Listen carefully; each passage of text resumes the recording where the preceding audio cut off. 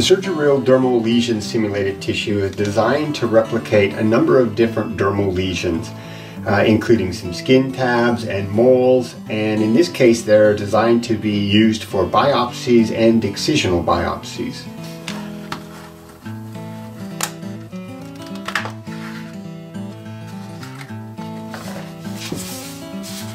So if we look here at the pad, we have a number of different disease processes, if you will. So some small uh, moles, some larger moles here, some skin tabs. And there's lots of different things that we can do with this pad. So I really encourage you to practice them all to see how they work. So for instance, you can come in with the skin tab, do a local anesthesia around it.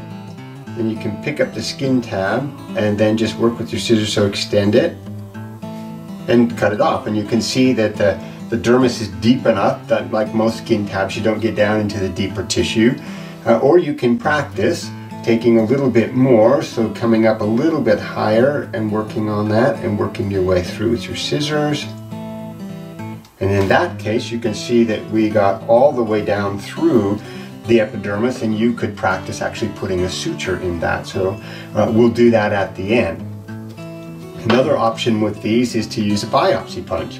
Uh, so we can come in at the edge of a mole. So in this case, we're trying to get the, uh, a good biopsy, which will include some normal tissue as well as the abnormal tissue. So we'll take the biopsy punch, twist it as we work our way down to get down through the epidermis, and then uh, we're going to come back in with our thumb forceps, lift that area up, that we have biopsied and come in and get the subcutaneous level with that. Then you can see here that we've got a good biopsy with some normal tissue here and some of the abnormal tissue so that it gives you an idea of whether or not there's been any penetration of the diseased tissue throughout. So that's another one of the options that we can do. Uh, these are designed that if you have a big enough punch, you can actually come through and remove the entire mole itself.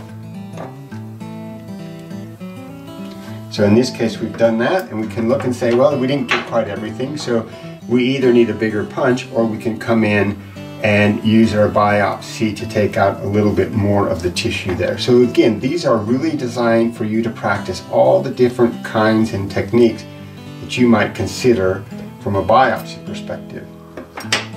This little bit larger one in the corner here works very nicely for doing an excisional biopsy. So in this case, what we're going to do is go re reposition our pad a little bit and we're going to make a plan to do an elliptical incision around the mole here, uh, getting down through the skin. So we're going to come to the side, leave a little bit of normal tissue because we want to get rid of the entire mole.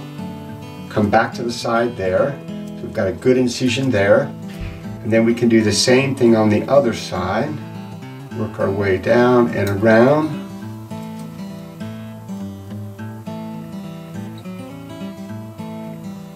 So when you do excisional biopsies, you end up taking more tissue.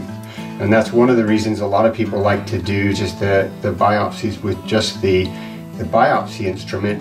But in this case, we're going to close it and it will close better if we do an elliptical or fusiform incision than if we did just a round incision.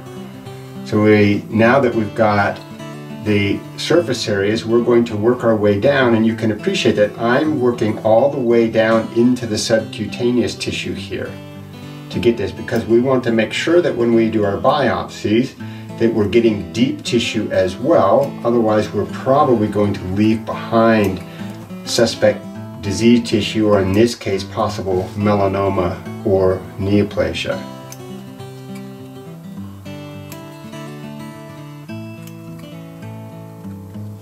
So here we go, we've got a nice deep biopsy. The subcu tissue allows us to do that. We've removed all of the melanoma and now it comes time to go ahead and close that. To close it, we can use some 3-0 um, monofilament nylon, in this case on a reverse cutting needle. If there was a lot of tension, you might go a slightly larger uh, suture material, but this should work fine.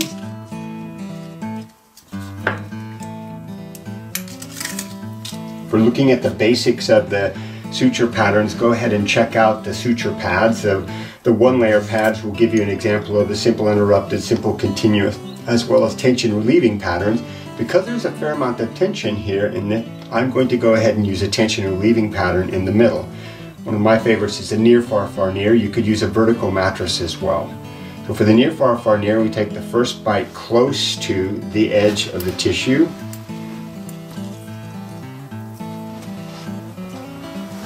And then the next bite on the, on the far side is going to be a far bite. So we're going to come a long ways away from the cut edge of the tissue. And the reason I really like the near, far, far, near pattern is that it's very straightforward to perform. All you have to do is be able to say the processes.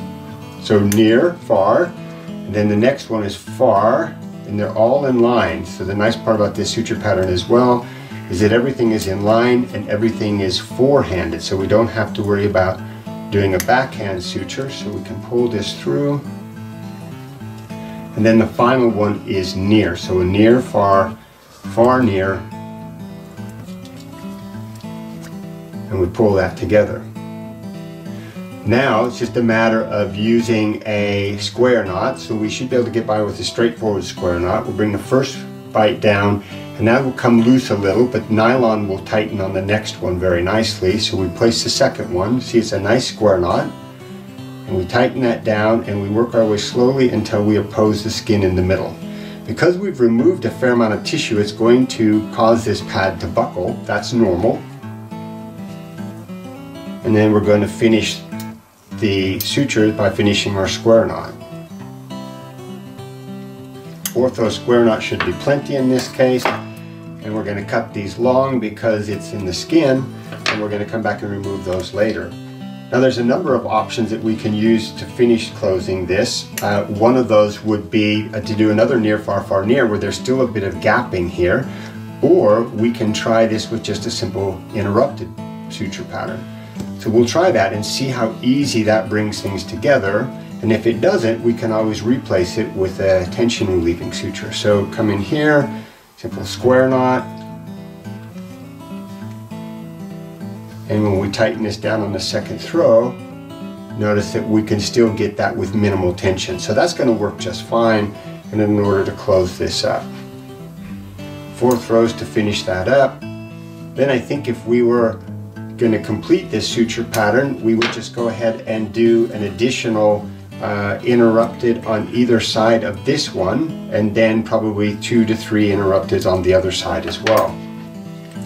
Remember that first skin tab that we removed and we got down through into the subcutaneous tissue this is one we talked about closing. So this one we don't need to close. This one I think closing would be good and we can probably close that with a single simple interrupted. So if we bring that into the side,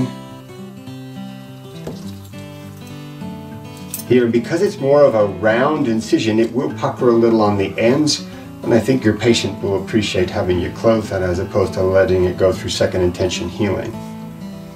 So again a single uh, interrupted suture pattern should bring that together quite nicely. And again, if you don't like that, you can always put two in there. So it gives you a chance to practice, see what you're doing. encourage you to try things. Put one in and see if it works. And if it doesn't, put a second one in uh, or, or go ahead and start with two. Whatever you want to do, this is the time for you to practice that. And, and what's really fun about this particular suture pad is that if you look at that and say, I don't like the fact that it uh, that, that I put just the one interrupted in and I want to put a couple of patterns in, you can take that suture out and, and now you can replace that with two interrupteds or a cruciate pattern in order to close that up. So just to show you how that works, we've got here the uh, interrupted that we took out. We didn't quite like the way that was closing, so we're going to come here and I'm going to put a cruciate in here. I like cruciates in these situations.